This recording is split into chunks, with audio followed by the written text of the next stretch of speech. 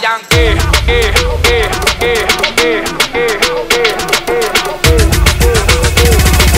Si lo mueve sexy, dale mami.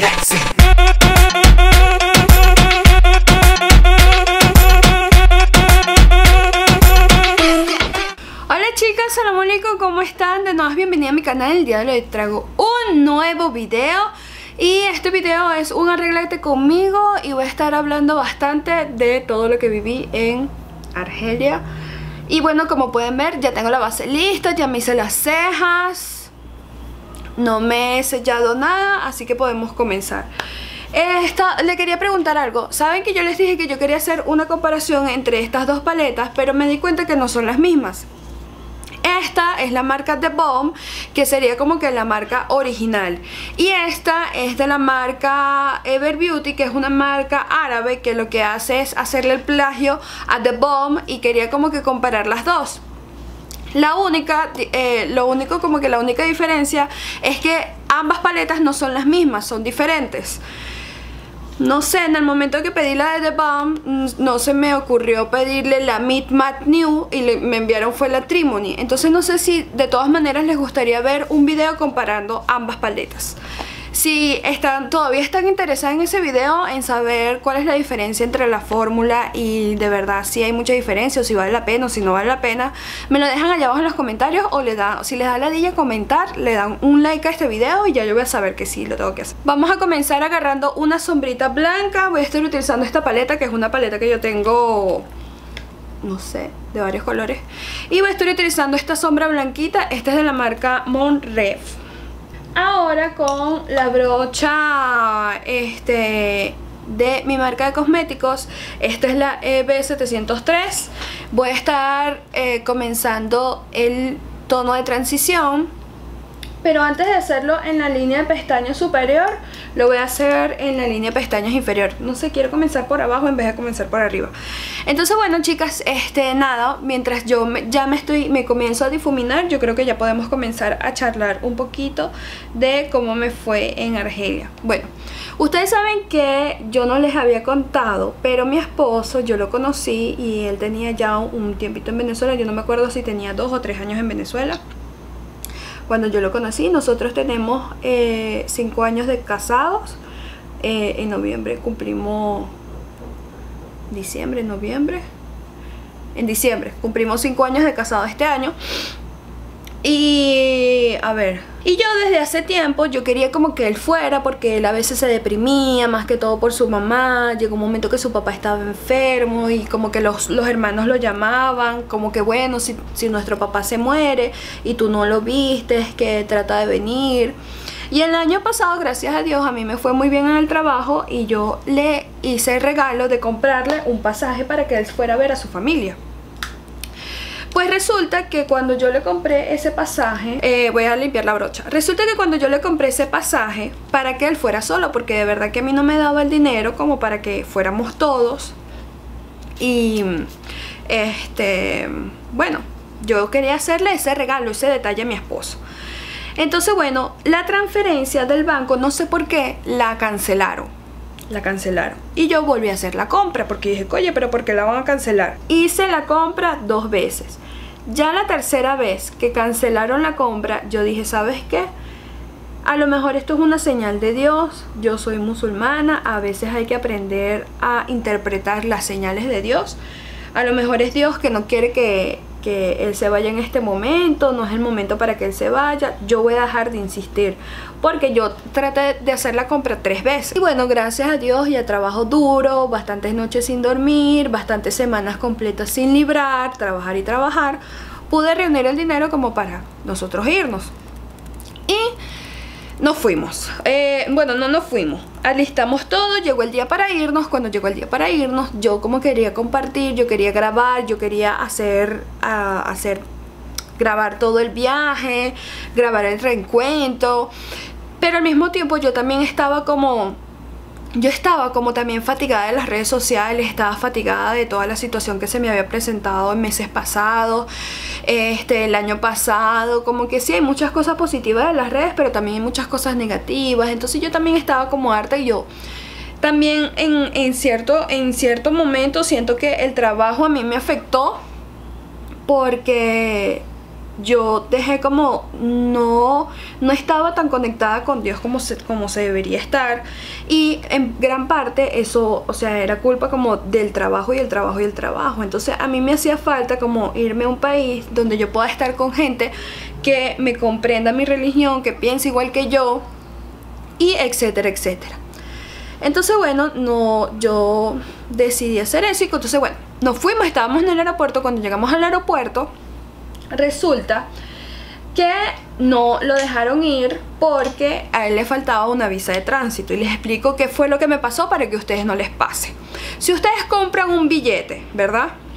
Donde la persona hace una escala en Madrid, pero un ejemplo, eh, tú compraste un billete para irte a Francia, pero vas a hacer escala en Madrid, un ejemplo. Yo sé que eso no normalmente no pasa. Entonces, un ejemplo, tú compraste ese billete y tú vas a llegar a Madrid en, en, el, en el terminal T1, un ejemplo. Si tú sales por ese mismo terminal, es decir, que la otra agencia porque por lo menos yo compré dos billetes separados, uno por una aerolínea y el otro por otra aerolínea. Eh, eh, de Venezuela a Madrid por Air Europa y de Madrid a mm, Argelia con Air Argelia porque así es que me salía más económico.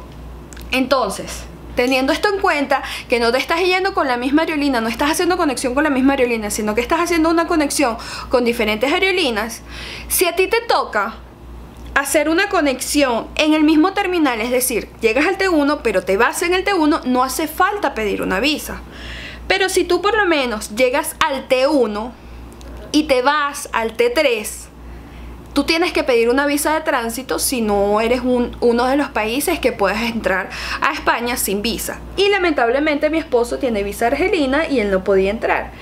Entonces bueno, este, ese día no nos pudimos ir, después que hicimos la cola en el aeropuerto, que estuvimos todo el día ahí, él no se pudo ir, le dijeron que no, mi esposo estaba molesto, yo estaba bastante triste, decepcionada. Y nosotros pensábamos irnos como un, un mes y medio y terminamos yéndonos este 25 días. También otra de las cosas que yo hice, que cuando yo estaba en el aeropuerto, yo como que conté la historia de mi esposo, de todo lo que había pasado y este, mucha gente dice así como que bueno, la envidia, la gente, este, eh, a veces con las malas energías o los malos pensamientos te pueden dar mal de ojo y puede ser como que todas las cosas te salgan mal. Y mm, yo no soy de pensar tanto esas cosas, pero ese día yo me di cuenta así como que, bueno, eh, capaz y sí, y yo debería más bien creer en esas cosas porque yo soy musulmana y eso está en el Corán y todo. Entonces, bueno, en fin, ese día no nos pudimos ir, fue fatal, fue de verdad que bastante súper, súper chimbo. Y mm, decidí, maricosa, ya va, me tengo que hacer baking. Porque aquí, o no, no me hago baking. Ay, me da fastidio. A mí me molesta demasiado hacer baking me quiero hacer así como un look medio como medio expandido así como en B tengo tiempísimo que no me lo hago entonces bueno hicimos todos los trámites para que le dieran la visa de tránsito se la dieron este, nos logramos ir todo fue espectacular sin novedad cuando yo llego al aeropuerto cuando yo llego al aeropuerto voy a comenzar con este tono este tono y después, básicamente voy a estar utilizando todos estos tonos para que tengan en cuenta. Cuando llegamos al aeropuerto, que, que ya, yo, ya yo logro salir del aeropuerto y estaba mi suegra esperando a mi esposo. Yo soy la primera que yo salgo, yo con mis hijos y después sale él más atrás con todas las maletas. En ese momento, cuando mi suegra ve a mi esposo, obviamente ellos apenas se vieron, estaban llorando y por lo menos mi esposa, eh, mi suegra, ella utiliza el niqab y ella estaba así, o sea, ellas son de, las que se tapan completa. Y mm, cuando ellos se vieron, ellos se abrazaron, ellas como que se les salió el niqab, empezaron a llorar y yo grabé ese momento, yo lo grabé con mi cámara de vlogs Y cuando llegué, bueno, eh, conocí a mi suegra, conocí a mi suegro, nos montamos en el carro y de la capital nos fuimos a donde él vivía, que son como cuatro horas. Cuando yo llego a mi casa, cuando yo llego a la casa, que ya conocí a todas mis cuñadas, que todas estaban ahí, que yo voy a revisar la, la cámara, yo no sé por qué razón, la cámara no grabó ese momento.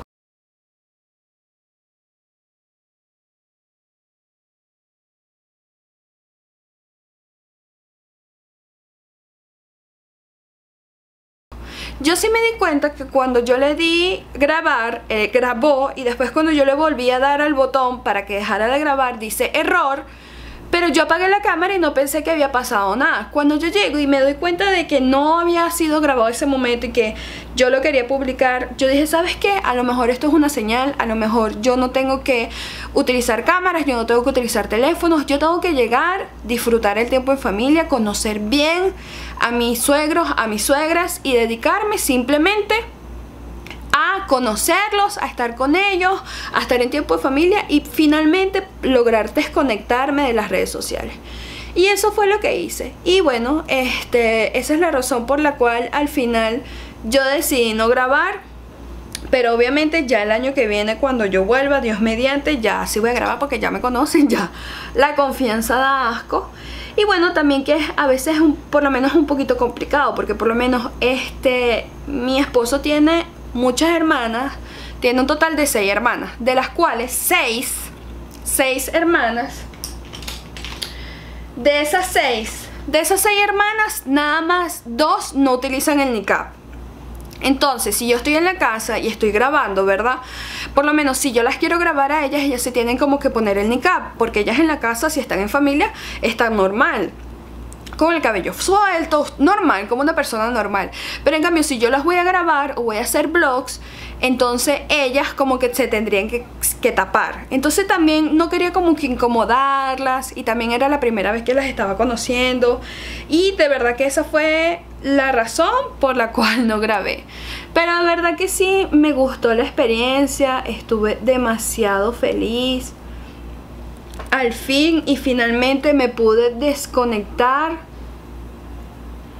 después de tanto tiempo de estar como que enfermiza con las redes sociales, pude al final desconectarme. Yo creo que ahorita voy a utilizar un tono dorado. Me quiero hacer como el típico smokey, ¿sabes? Doradito. Debería utilizar una de mis paletas, pero me da una ladilla para darme una ladilla.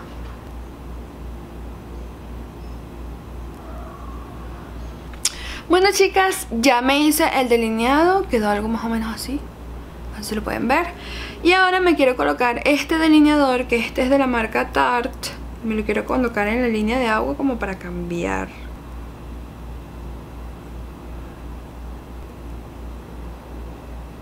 Y listo, creo que lo quiero dejar así, que no le quiero colocar más nada.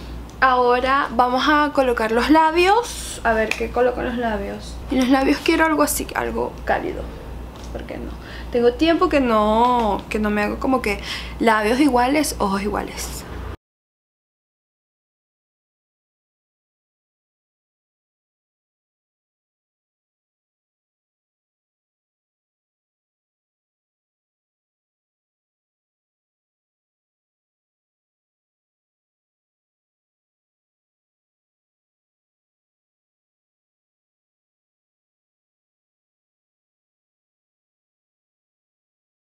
Bueno chicas, este ha sido el look final, espero que les haya gustado este video.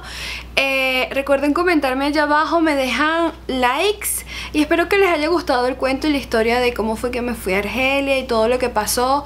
Recuerden comentarme allá abajo cuál sería el próximo video que les gustaría que yo hiciera Y qué tipo de videos, con qué tipo de colores. He estado pensando como que en seguir haciendo cosas dramáticas Porque siento que cuando hago cosas muy naturales como que no me salen bien Y que esto me sale bien. Entonces, esto es lo que tengo que hacer. Estas pestañas son mm, eh, de una chica venezolana que las vende y son, se ven demasiado, o sea, me llegan, me llegan a la ceja, miren. qué cosa tan espectacular. De verdad que me gustaron bastante. Bueno, espero que les haya gustado este video. Recuerden suscribirse al canal, me dejan un like, me comentan allá abajo. Y nos vemos en un próximo video. Y a la.